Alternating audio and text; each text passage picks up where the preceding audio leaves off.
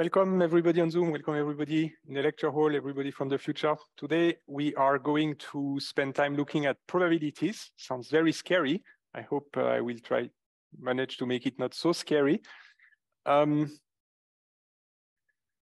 before we start, I will ask you a few clicker questions. Can take uh, a bit of time uh, for that uh, regarding term frequencies, statistics, and so on. And uh, then we'll proceed with a 101 of probabilities that I know you already know, but it's just to make sure that it's uh, on top of your minds.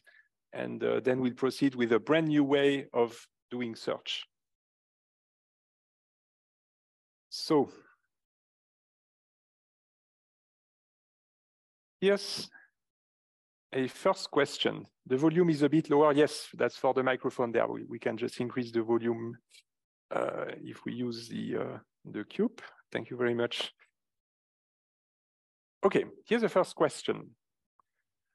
We saw that one way, or at least when we tried, we could have used the term frequency for the weights in the vector space model, right, in order to compute the scores. But why is it that we just don't use the term frequencies? Why is it that we did something more complicated with the, uh, the formula? Because that would be the first uh, intuition, right? To just score with the number of times that a query term appears in a document.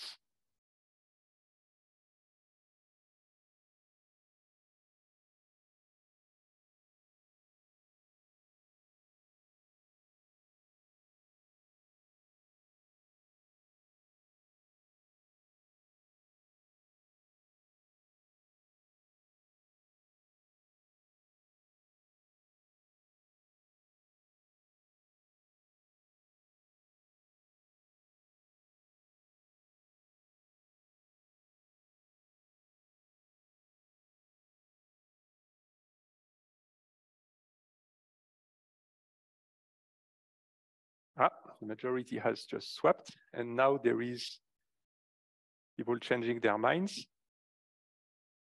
Aha.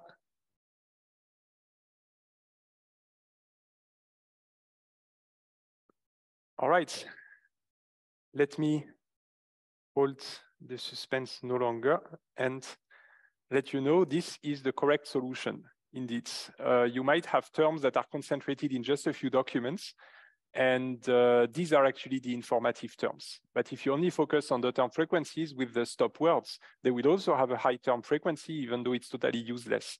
Uh, for example, a word like is, be, a, the, and so on. Uh, so this is why we use the inverted document frequency. And the inverted term frequency is a trap in the third one. Uh, the first one is incorrect because this is not Boolean retrieval. Uh, why is it not Boolean retrieval?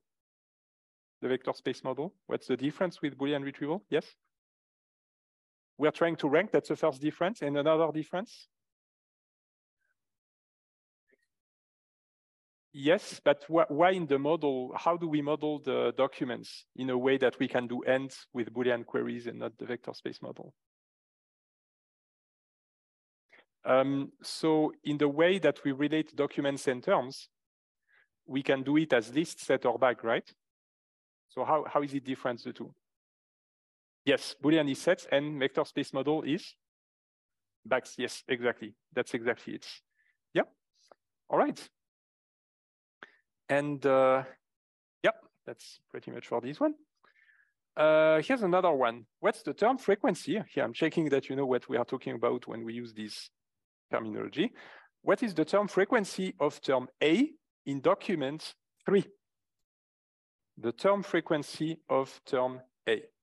Document three is right there.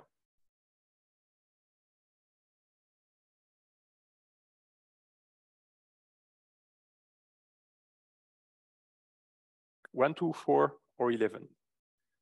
The term frequency of A in document three.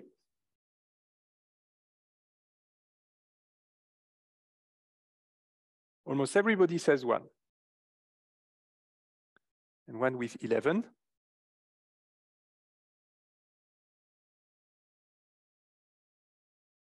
Eleven or one? Well, the answer is one.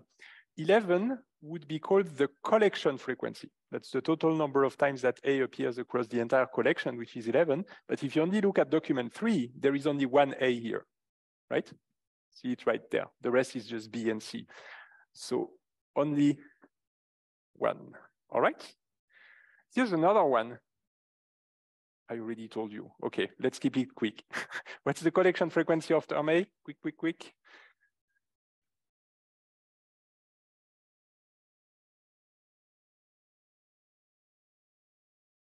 Yes, all right. And the majority is right. So this is indeed 11. So the total number of times that it appears in the collection. And in fact, this was a false good idea, right? You could have done it that way. Uh, what is going on? Yes, here's another one. What is the term frequency of term A?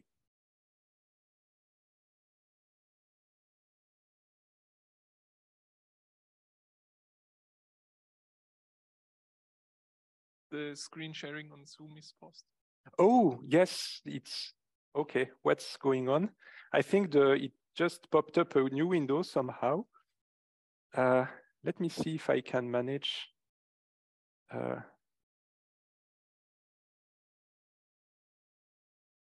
maybe I can reopen it. Uh, was it this one? Yes. So now it should be shared again. What is the term frequency of term A? So what do you say? This question doesn't make sense. Yes, exactly, it doesn't make sense. The term frequency needs a term and a document. So you got it right too.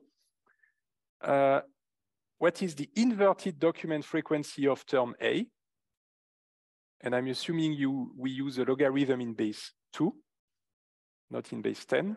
So the inverted document frequency of term A.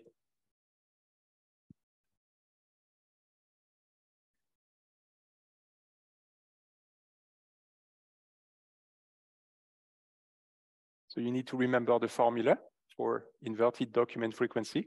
It's not just the inverse.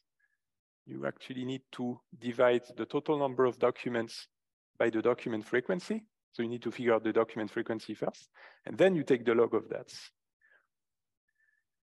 Okay, so let's see what the majority says. A lot of you say zero. A lot of you say zero. And why is it zero? Can anybody tell me why it is zero? Yes, can we, maybe we should use the, uh, the cube. Yeah. Um, I don't think it's on. Ah, ah there we go. Um, so it appears in every single document. So we have it, the A appears in every single document. So we have four over four, which is one, and then log of one is zero. Yeah, exactly. So log of four divided by four, in fact, it's everywhere. It's in all documents. So this is the uh, most uh, stop-worthy term that you can ever have. So the inverted document frequency is zero, and then it goes up uh, with rarity. Yeah. What's the document frequency of D? This one should be quick to figure out. The document frequency of D, one, two, three, or five.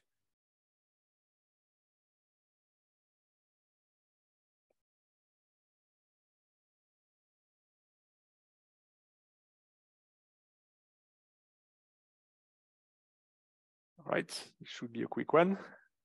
That's the majority says three. And indeed, it is three. Why? Because it's in document uh, two, it's in document three. No, sorry, sorry, sorry, sorry.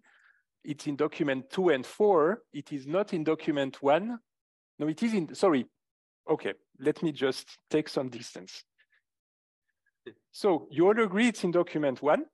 Agree in document two, agree in document four, I saw it, but it's not in document three, so the document frequency is three, exactly. And the inverted document frequency would be log of four divided by three, right? So two minus log three. Okay, and indeed, the correct answer is three, okay? Uh, this one I already asked, you already answered. This is too early. Uh, and this one I can also ask, what's in the bag of word model, so we have the bag of word model uh, and vectors to represent document, vector space model. How do we measure the similarity of two documents? Do we compute the dot products, the dot product of the vectors, the determinant of the outer product of the vectors, the inverse of the dot product of the vectors, similarity as opposed to the distance, or the norm of the cross products?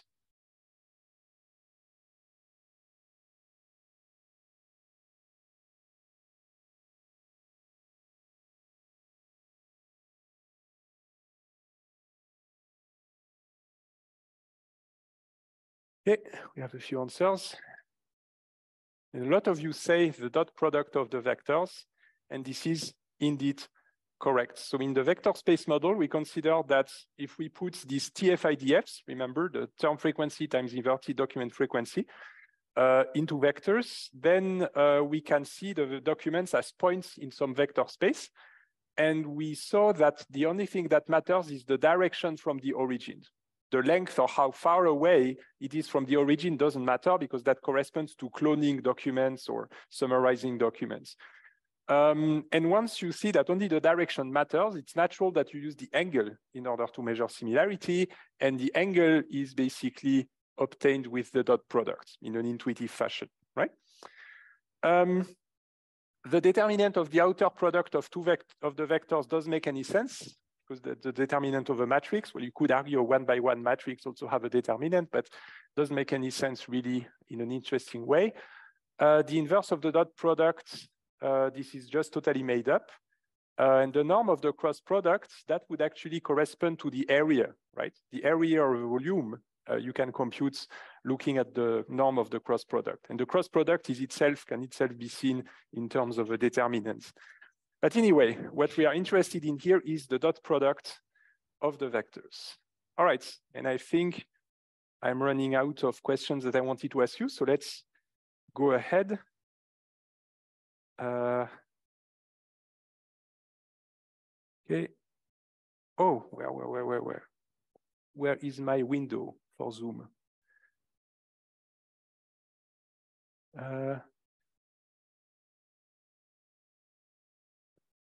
Zoom is open, right? So I should have a window somewhere. I don't have a window anywhere. That is very strange. Uh, oh, it is here. All right. So I need to click on new share and then uh, here and here. Got it. Now. Okay. So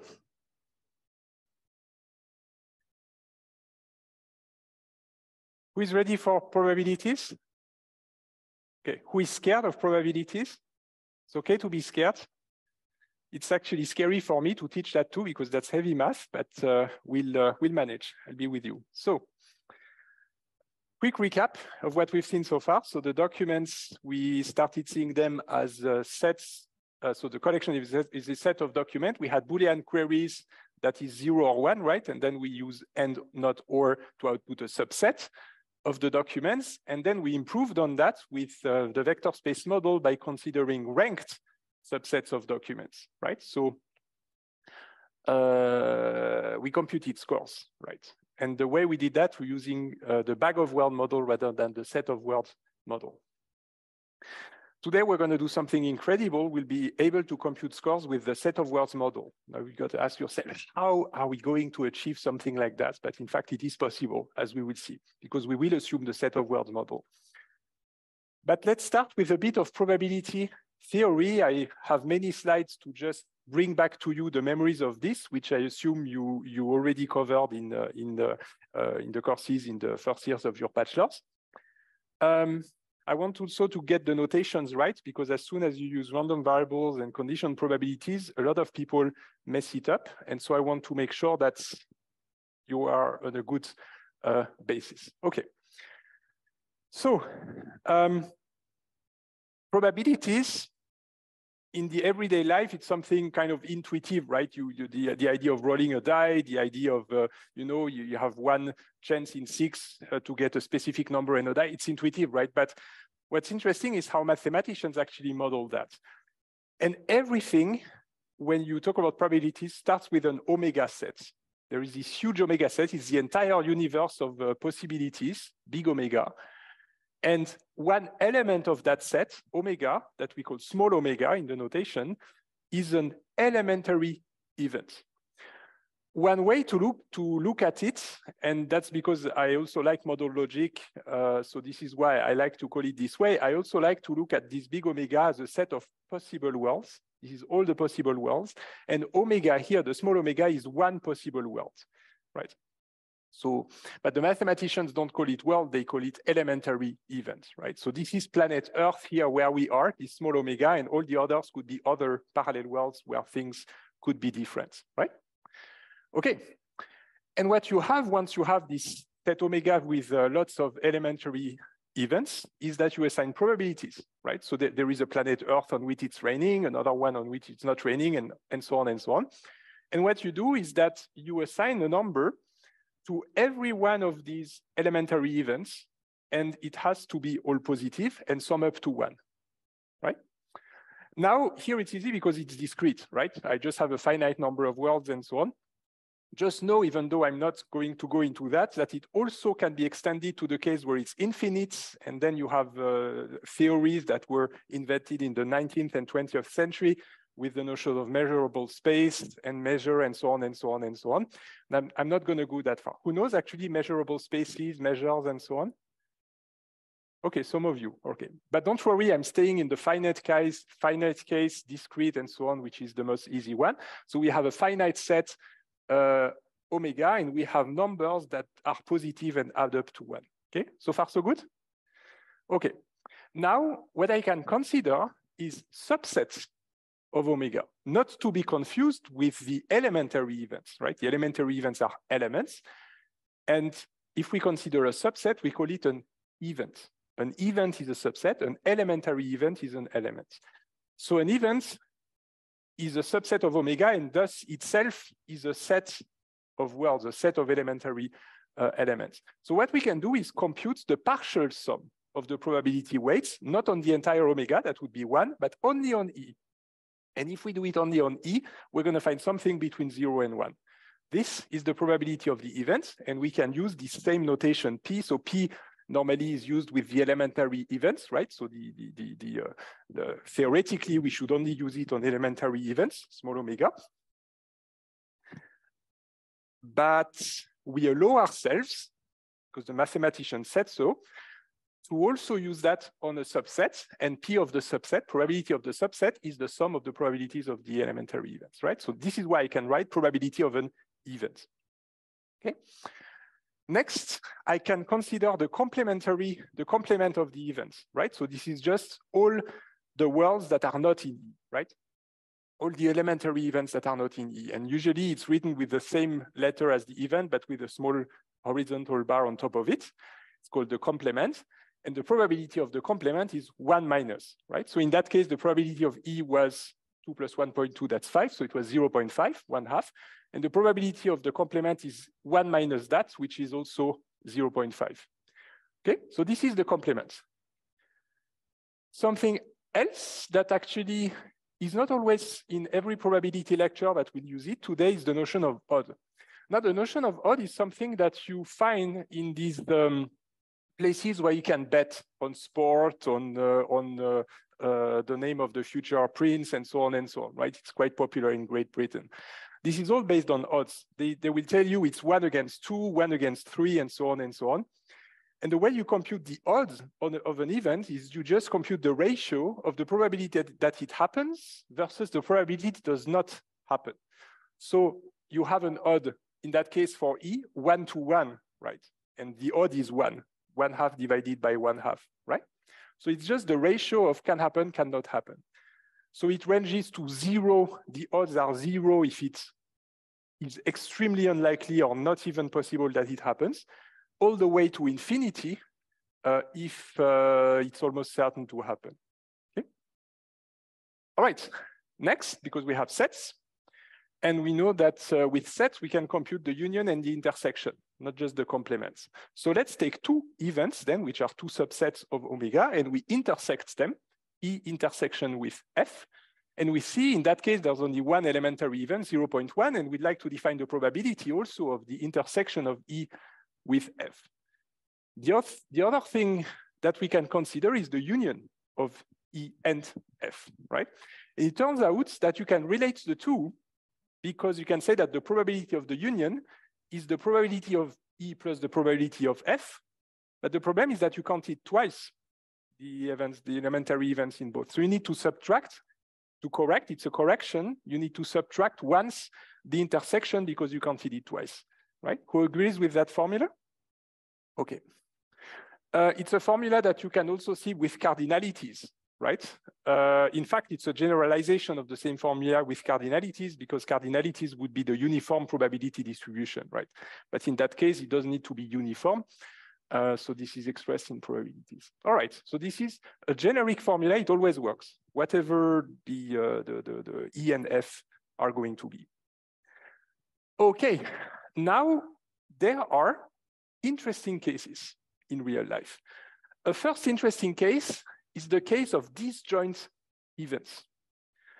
Um, a disjoint event, for example, is event E. There is a snowstorm. Event F, there is a heat wave.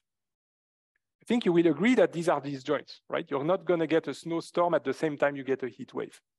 So this is a special case where E and F do not intersect. What it means is there is this snow world in which there is both at the same location a snowstorm and a heat wave. What happens in that case is the probability of the intersection is zero, and that means you can rewrite the formula of before, the ones with you add the two and then subtract the correction. There is no correction anymore because there is no intersection. So the way you know that two events are disjoint is the probability of the union is the sum directly of the two probabilities.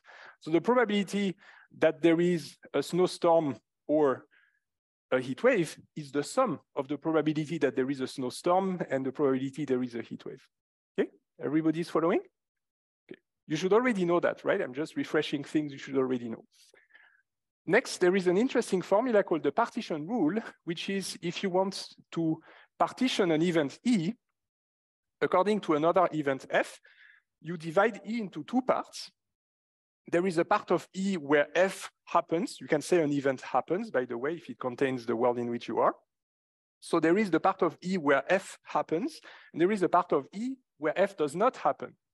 It turns out that they are disjoint, right? E intersection F and E intersection the complement of F, they are, they are disjoints. You cannot be both in F and not in F, right?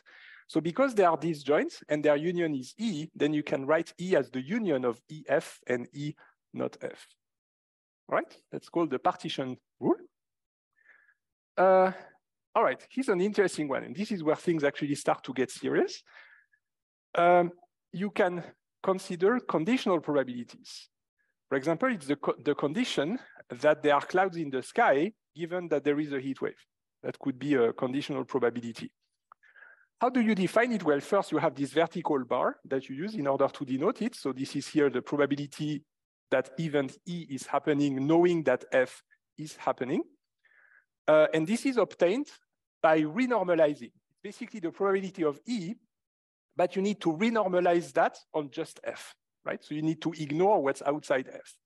So it means that you need to compute the probability that F happens given E, so the, that's the intersection of the two, divided, renormalized with the probability of f, right?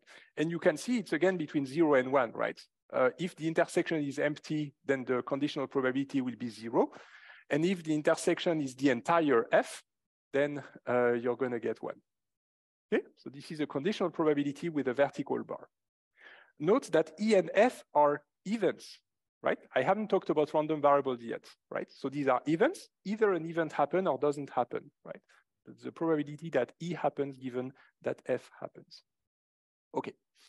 Now I can rewrite that formula. It's just the same formula written in a different way that I can take the intersection as the product of the probability of F and the probability of E given F, right? It's exactly the same formula. This is called the chain rule.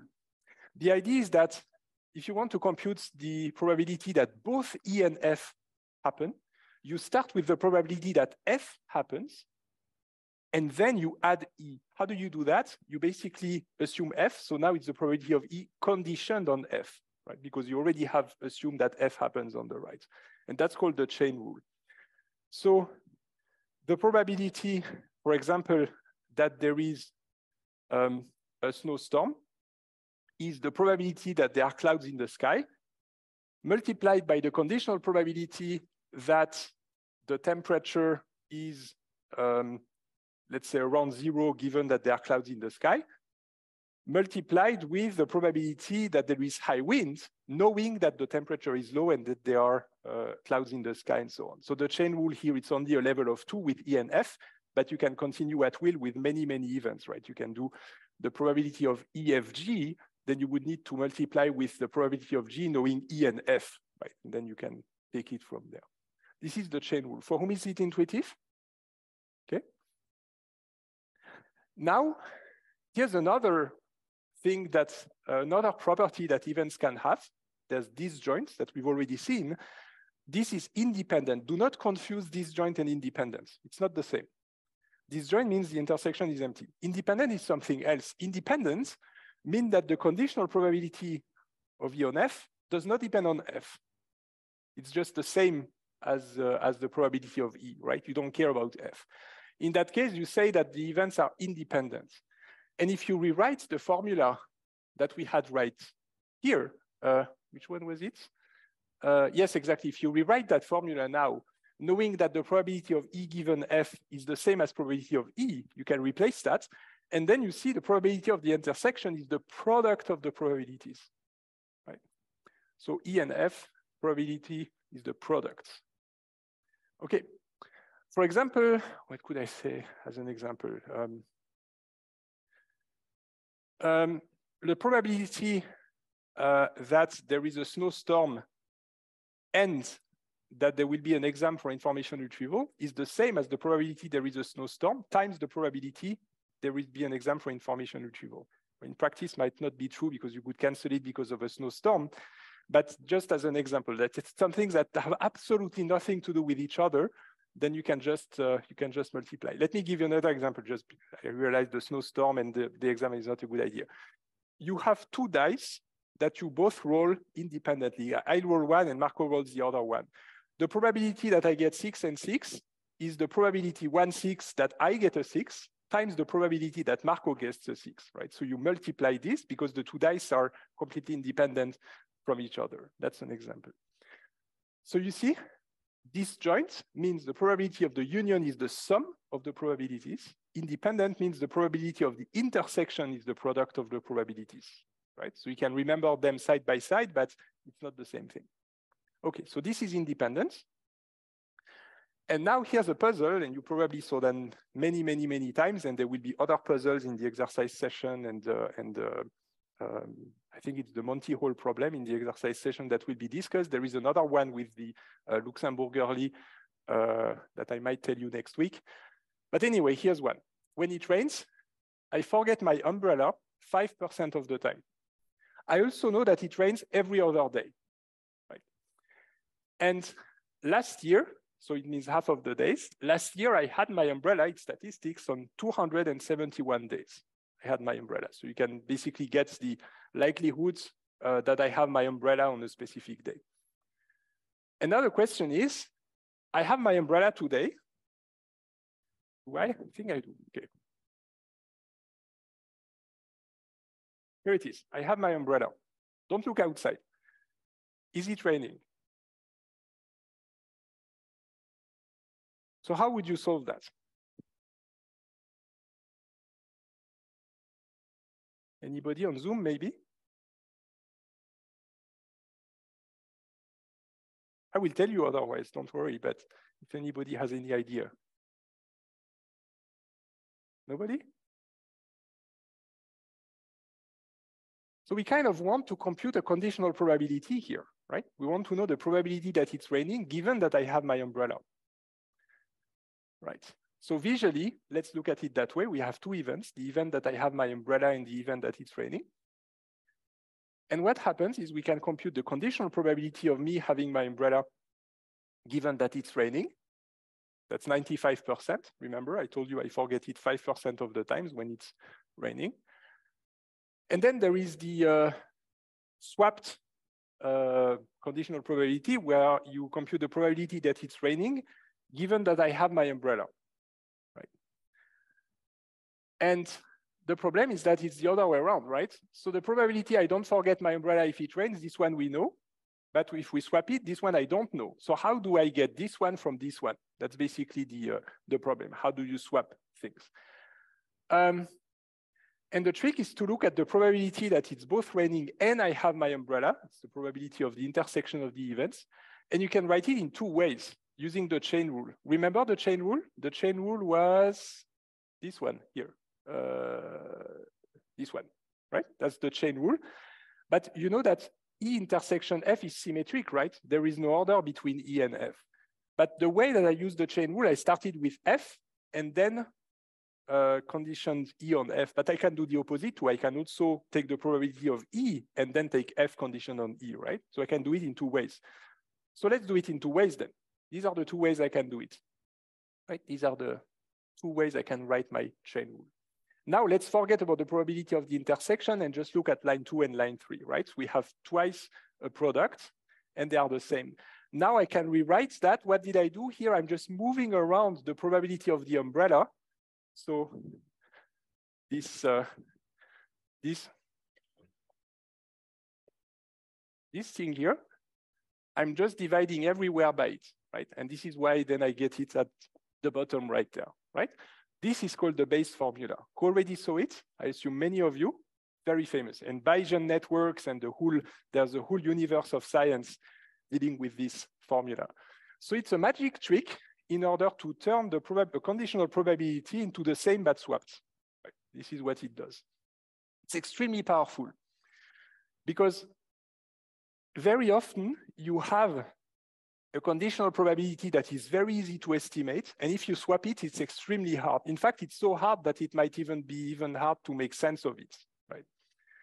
Um, for example, intelligent life is the, in the universe, the probability that there are aliens, that there are other civilizations in the universe. How do you even estimate that? It's very hard. But if you start swapping the, the, the, probabilities and conditioning on the other hand, if there are alien civilizations, what are the odds that we actually can spot something? This is kind of the thinking. So the Bayes formula is very powerful because it allows you to estimate likelihoods of events that we have absolutely no idea about, cannot even quantify them. But somehow, if you reverse and swap the conditional probability, then it makes it easier to actually do the reasoning, right? Okay, so this is the, the Bayes formula. And again, it's a magic trick to, to just turn a conditional probability into the one where you swapped the size. Okay, and now it's actually easy because now it's almost trivial to solve the problem. You just replace the three uh, numbers because it turns out that the three probabilities, we know them from the, from the slide. If you, let me show it again. These are exactly these three lines here that give us the three, the three numbers. And the question is, the results. So we just put the probability that I have my umbrella knowing that it's raining is 95%. So you know 95% is the same as 0.95. The probability that it's raining is one half every other day, right? And the probability that I have my umbrella, this is 271 days. I counted last year, 271 days out of 365. There you go. And you find 65%. Now, this is incredible. Now I'm able to say the probability or the likelihood that it's actually raining outside is 64, 64%. And the thing that is magic that happened is that if I remove that, put it back here, don't see it. What's the probability it's raining? One half percent. The moment take my umbrella out of my bag and show it to you, that changes to 64%. This is, the, this is the magic. And the idea is that there is the notion of prior and posterior, that the prior probability was 0.5, and then there is an update that I'm showing the umbrella, and then we have an updated probability, right? So this is actually related to information theory, right? The idea that you have new information coming in, and when you have new information coming in, then you can update the uh, likelihoods or the estimates that something is happening. Okay, so the visual representation, again, I had my umbrella here, 271 out of the entire year. I only forget it 5%, so we know this and this. We also know it's raining 50% of the time, and this is where we get the 65%. So you see how we, this magic thing about jumping from 50 to 64, this is how it happens. It happens in this way. It's just because I give you additional information that you can exclude all of the words that are in the gray zone, and suddenly the ratio of the, the raining, not raining, uh, is actually higher?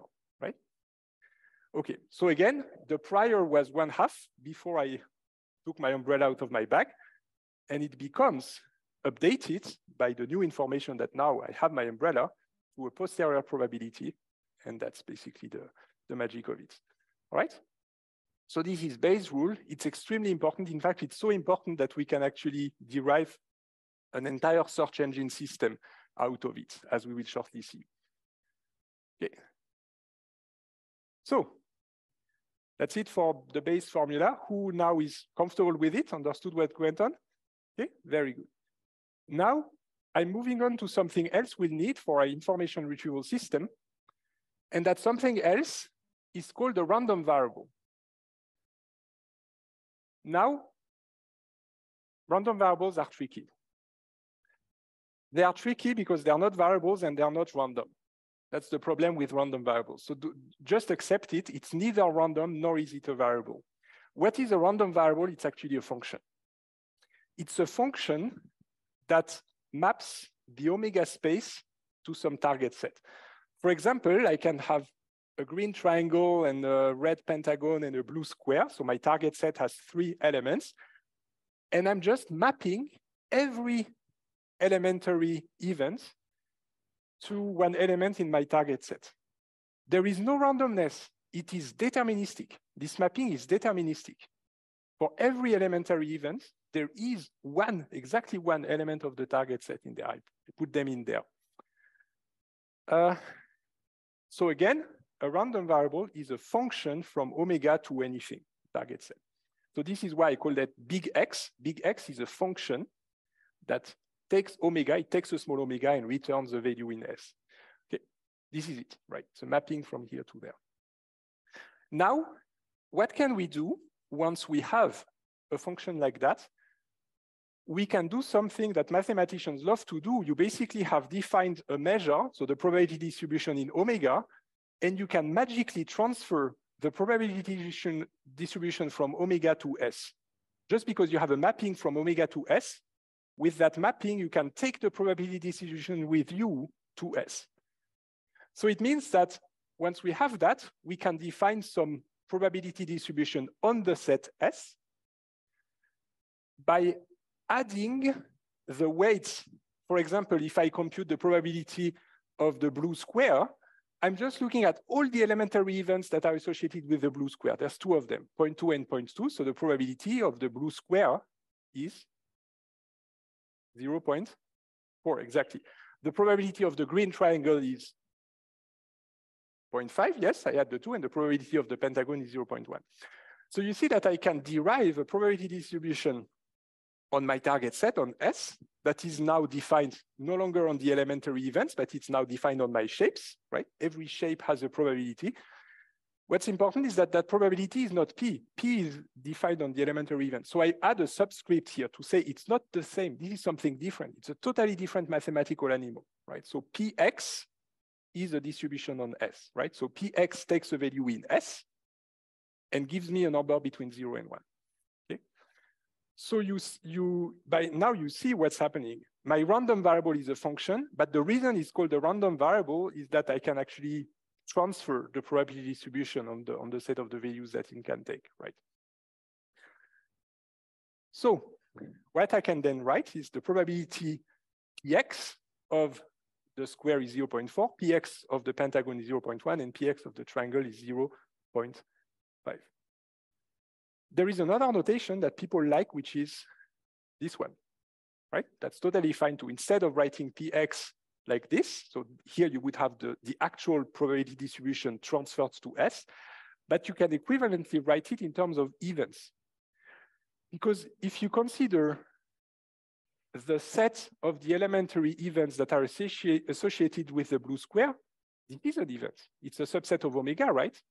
The subset of omega that has the elementary events that are mapped to the blue square. That event is denoted x equal blue square. It's only a notation because again, x is a function. But the notation x equals blue square designates an event, and that's the event that x of omega is equal to the blue square. All right, so you can write it this way, this way, you choose. I'm fine with both. Actually, I prefer this one for pedagogical reasons, and I'm, gonna, I'm going to be using this one for information retrieval. But equivalently, you can do this. However, what you cannot do is this. You cannot write P of the blue square. That is mathematically not making any sense because P is defined on omega, takes elementary events, can also take events. The blue square is not an event. X equals the blue square is an event, but the blue square is not an event. So that you cannot do. And the, the problem, the reason why it's problematic is that many people do it, including in the book, the, the information, the information retrieval book, they do exactly this of course, if you have a PhD in statistics and you're a professor and so on, then of course you can do this because you know what you're doing, right? I think it's a very bad idea to teach it in that way because that's very confusing when you start writing things like that. Nobody knows anymore what you're talking about. When you have multiple random variables, imagine that I have X and Y now as random variables and both X and Y can take shapes. Now, if I write probability of the blue square, how do I know if it's X or Y? I have no idea if it's X or Y. I don't know, but this way I know.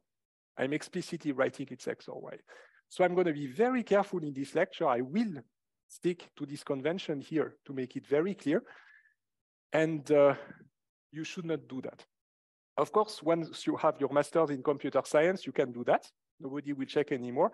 But I strongly recommend you don't ever do that until the end of your studies. Okay.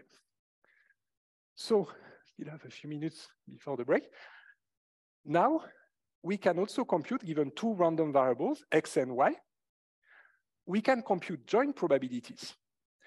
So if I have a specific value that uh, my big X can take, which is small x, it's conventional to use the uppercase, lowercase, and I, I compute that both big X equals small x and big Y equals small i, small y, so it's the joint probability, then I look for all my worlds in which it's both true that big X is small x and that big Y is small y. For example, if I want to uh, big X to be a blue square and big Y to be a green rectangle, then I'm looking at all of the worlds so that big X of the world is a blue square and big Y of the world is a green rectangle, and I sum of them, right? This is actually yet another event, okay? So this is called the joint probability, right? And the joint probability can be used in turn to define the conditional probability. What's important here compared to before is that before we had looked at the intersection of two, of two events and we had looked at the condition on uh, an event condition on another event, right? Now I'm doing it with random variables, right? So here it's X and Y, which is a joint probability distribution. And now I have X conditioned on Y, and this I obtained by dividing the intersection, the fact that both uh, big X is small x and big Y is small i, small y, knowing that big Y is small y. Now this one might be a bit confusing to write or, you know, because you have all these subscripts. This is why I prefer to write it that way. This is the same. This is strictly equivalent. It's just a different notation, but this might be a bit easier to understand, right? Because here you're explicitly saying what's the probability that big X is small x and big Y is small y, uh, given that big Y is small y. Okay, okay let, let me just do a quick poll. Who finds it more complex here and easier here? Okay, for whom is it the opposite? Who understands this better? Usually this, yes, some of you, okay, yeah, it's totally fine. Both are actually acceptable, right? All right, um, and mind the notation here. This is as mathematical rigorous as it can be because you can see that this Pxy here, this is a probability distribution on pairs of values, right? You have one value for small x and one value small y, and whatever pair you have, you can compute with this function the probability of the, the, the, the, the joint probability that these are the values you get with big X and big Y. Here, it also takes two values, small x and small y, but it doesn't compute the same thing.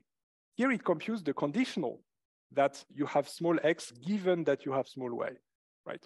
And it is mathematically rigorous because this is unambiguous. This function is unambiguous, probability distribution, and this is also unambiguous, right? So this is as formal and precise as it can be, right? But again, I will prefer that. In the rest of the course, I will write things that way. It's very intuitive actually, because again, big X equals small x, that's an event, right? It's the events that in the particular world that I'm watching, I get this value for the random variable X. So again, big X is a random variable. X is a particular value. X, I can replace that with the blue square, with the green triangle, with whatever I want. The big X and the small, the, the small X and the small Y, they are just classical variables in mathematics, programming variables, if you want, in Java or Python, right? Who understands the difference? Again, between big X and big Y, these are random variables. These are mappings from the probability space omega to some target set. And the small ones, here I'm using the notation, these are actual mathematical variables. Who gets the difference? Okay. And I'm gonna, just before the break, I know I'm insisting, do not ever, ever, ever, ever, ever, ever write something like that. This is absolutely a disaster. Who, I mean, of course, you see the intent, right? The intent was obviously that you wanted to compute the probability that big X equals small x, knowing that big Y equals small y. But the problem is that only a human can actually make sense of that. If you feed that into a computer, a computer will not make any sense of that. And the reason is that the, in these formulas, you're not even, there's no random variables in there. Technically, these are mathematical variables, right? X and Y. So I can replace them with anything I want, for example, with numbers. So what's the probability of one given two? The probability of one given two doesn't mean anything, right? However, the probability that big X equals one, knowing that big Y equals two, that makes sense. So never do that, right? And again, in the textbook, they are doing that. So you need to do the mental gym or actually automatically replacing with this, this way of looking at things. Um, I mean, whenever I see papers or books that do that, I find it very scary because I know it's going to be a nightmare to actually figure out what's going on because it's, it's just uh, exploding in my brain. Uh, so I, I really recommend if you ever see that, just don't be surprised if this is tough. Try to rewrite it in this way, and that actually might make more sense. Okay? Who understands why this is not good? Very good. Then I did, I did my job. You deserve your break. And after the break, we'll continue and then I'll move on to uh, an actual information retrieval system. So I'll see you at quarter past, uh, no, sorry, I, I had two minutes, so 17 past 11, so that you have your entire break. So see you in a bit.